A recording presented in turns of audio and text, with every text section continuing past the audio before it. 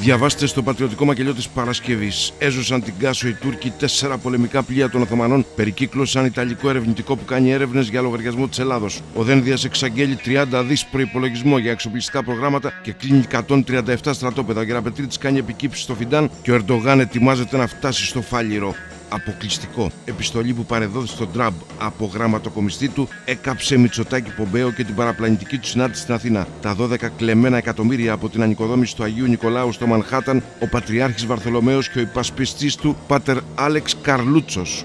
Όλο το παρασκήνιο για τη μηνυτήρια αναφορά στην εισαγγελία του Αρίου Πάγου περί πλαστών υπογραφών και προσώπων φαντασμάτων που υπέγραψαν την ιδρυτική διακήρυξη του κόμματος Φωνή Λογικής, που χρηματοδοτείται από εκδότες και ολιγάρχες. Γιατί κινδυνεύει το κόμμα να κηρυχθεί έκτοτο και να χάσει και την έδρα στην Ευρωβουλή. Σύρονται χωρίς κουκούλες στην εισαγγελία οι πρώην προστατευόμενοι μάρτυρες για την υπόθεση Νοβάρτης. Τα 50 εκατομμύρια ευρώ αμοιβή, η συρροή μηνύσεων εναντίον τους και ο κίνδυνος να πάνε πολλά χρόνια φυλακή. Στο μακελιό της Παρασκευής, γιατί αλήθεια είναι η αλήθεια του λαού.